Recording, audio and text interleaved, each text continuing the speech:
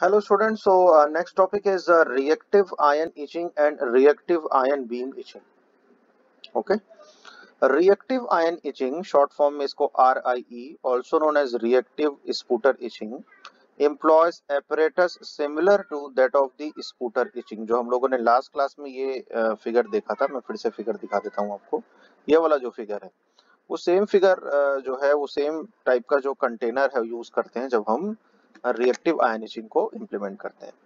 However, in reactive ion etching, the noble gas plasma is replaced by a molecular gas discharge.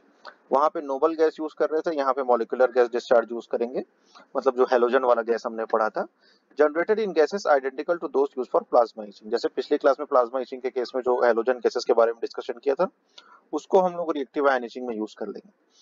उस case में जब हम स्पूटर etching की बात करते थे तो वहाँ पे नोबल गैसेस यूज़ होती थी। ये डिफरेंस है।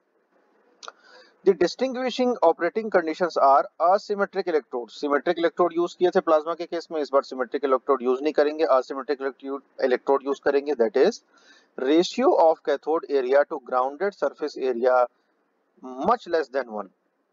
जो कैथोड एरिया का यूज़ होगा ग्राउंडेड सरफेस एरिया से मच लेस देन वन होगा असिमेट्रिक इलेक्ट्रोड होगा सेकंड है substrates placed on the powered electrode jitna bhi substrates hai wo placed on the power electrode. And third is relatively low operating pressures ranging from about 10 to the power minus 3 to 10 to the power minus 1 torque.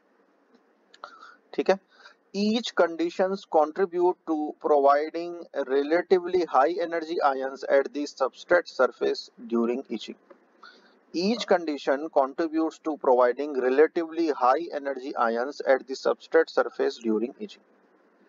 ठीक है? जैसा हम लोगों ने last class में AC DC excitation last last class में, उसके बारे में। The lower operating pressures used in RI reactive ion etching necessitates the use of more complex vacuum pumps and lower feed gas flow rates in other respects these systems are similar to parallel plate plasma etchers ठीक है? इस respect में प्लेरल plate plasma जो ये यहाँ पे पढ़ा है हमने, उससे भी सिमिलर होता है किस रिस्पेक्ट में, क्या प्रॉपर्टी की, कौन सी प्रॉपर्टी के रिस्पेक्ट में उसका सिमिलर हो जाता है? जब हम बात करते हैं गैस के फ्लोरेट की तो गैस फ्लोरेट जो उसमें मेंटेन किया था, वो यहाँ पे भी उतना ही अप्रोक्सीमेटली मेंटेन करते हैं।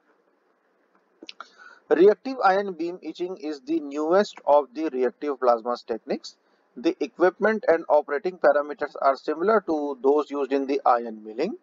However, molecular gases identical to those used in plasma and reactive ion etching replace the noble gases in the ion source, जैसा मैंने बताया. Although initial results indicate a very high degree of each anisotropy is obtainable, reported uh, sensitivities are poor in light of the considerably greater equipment complexity and potential drawbacks in connection with ion source maintenance Reactive ion beam etching is unlikely to become a preferable method for VLSI pattern transfer in near future. What are the disadvantages? Greater equipment complexity and potential drawbacks in connection with ion source maintenance.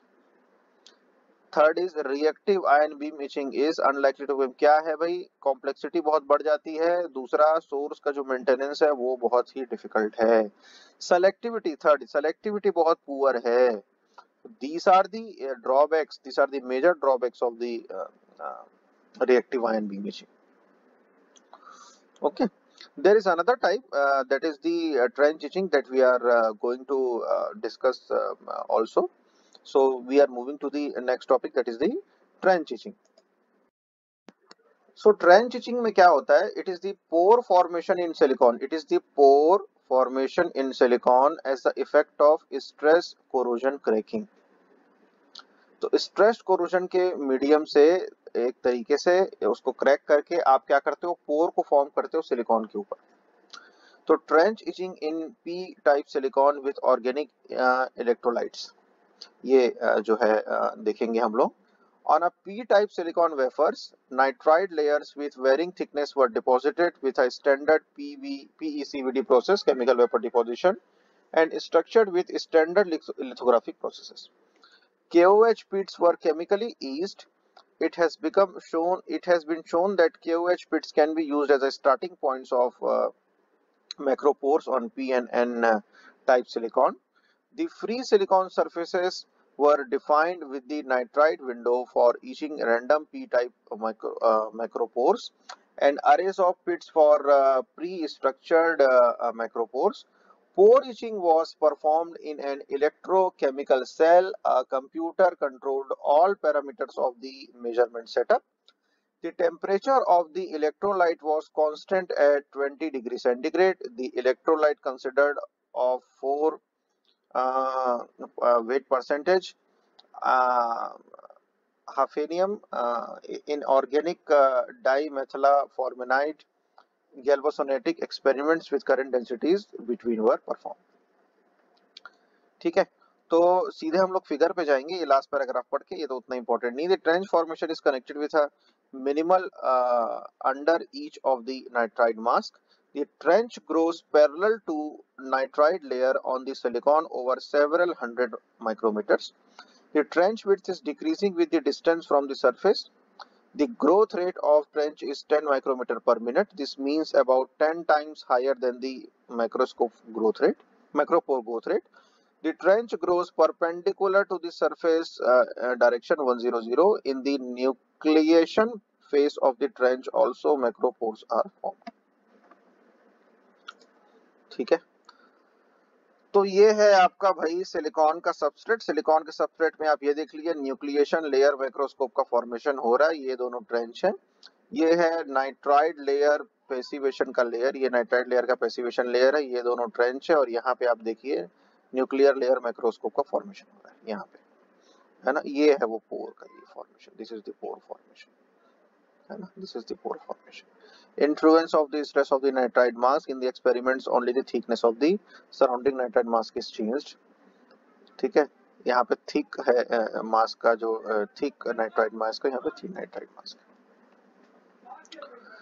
ठीक ये है a series of experiments has been performed to investigate the driving force of the trench formation uh, at the nitride edge है ना ये as के ऊपर किस तरीके से यहाँ पे फोर्स फॉर्म हो रहे हैं trench form हो रहे हैं है ना this results imply that the reason for the trench formation at the mask edge is a combination of mechanical stress and electrical field strength effects at the trench tip तो mechanical stress और electrical field दोनों के combination होता है ठीक A nitride mask is known as to induce several stress in the silicon substrate which depends on the mask thickness.